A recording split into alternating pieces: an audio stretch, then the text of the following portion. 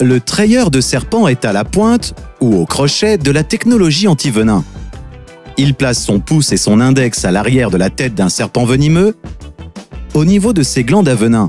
Ensuite, il presse la gueule du serpent contre le rebord d'un bocal. Le venin récolté est ensuite associé à d'autres substances pour créer un super mélange de venin. Lors d'une traite, un serpent sécrète très peu de venin. Selon la taille de ses glandes, il peut ne produire qu'un milligramme de venin. Cela dit, cette quantité suffit à tuer un homme.